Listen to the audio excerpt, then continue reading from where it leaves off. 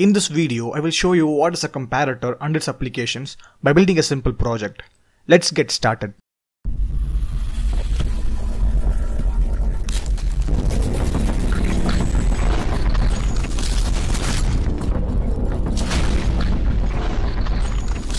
We will take LM358 op-amp as an example and see the theory inside it. We all know that op-amp has two inputs, the inverting and non-inverting. To use the op-amp as a comparator, connect it in open loop configuration and give two inputs.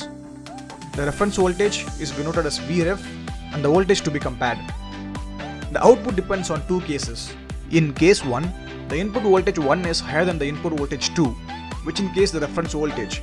The output of the op-amp will be high or connected to VCC. In case 2, the input voltage 1 is lesser than the reference voltage, the output of the op-amp will be low or connected to ground. Let's visualize the output with a simple graph. If case 1 is satisfied, output will be high. The output voltage will depend upon the supply voltage. If case 2 is satisfied, the output will be low.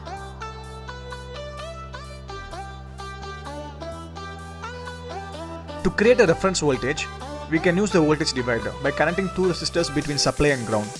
And the formula to calculate is Vin times R2 divided by R1 plus R2. And the another way is by using a potentiometer between supply and ground.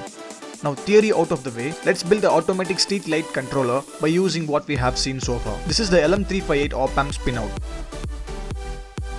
Follow the connection by referring the circuit diagram.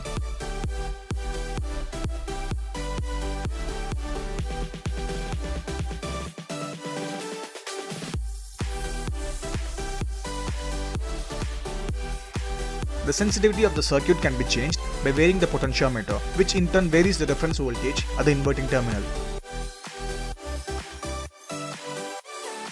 If you feel this video is helpful, show your support by like and sharing this video and don't forget to subscribe my channel for more awesome electronics basics videos.